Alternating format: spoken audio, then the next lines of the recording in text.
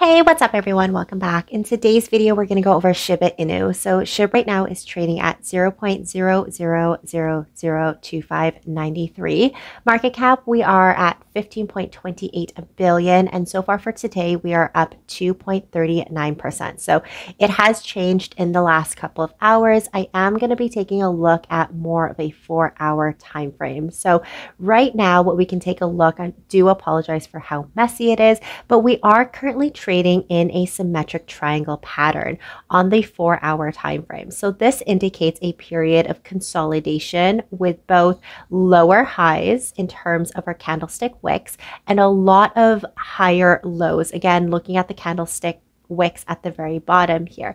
The price itself is retracing around the 61% of our fib. We can see already so far it's been a battle of this candlestick right now. So we know that there is a battle between the buyers and the sellers. We can see the symmetric triangle is getting smaller and smaller, closer to the actual tip here of our triangle. So we know that it is either going to be a breakout in an uptrend or a downtrend. As we can see with a four hour time frame, it is a continuation of our um, uptrend if we break out towards the top.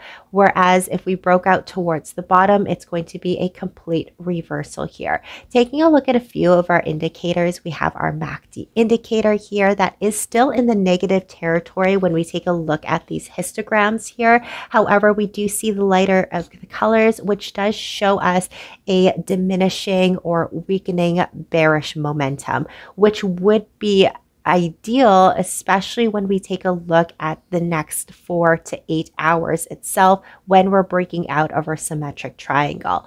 Now, if we take a look at the RSI here, the RSI itself is at 50%. Again, very, very neutral. So it's kind of a playing field, a war here when it comes to SHIB, if the buyers or the sellers are going to apply that pressure and which side is ultimately going to win here. Because the 50%, again, with our RSI, it is a very neutral itself.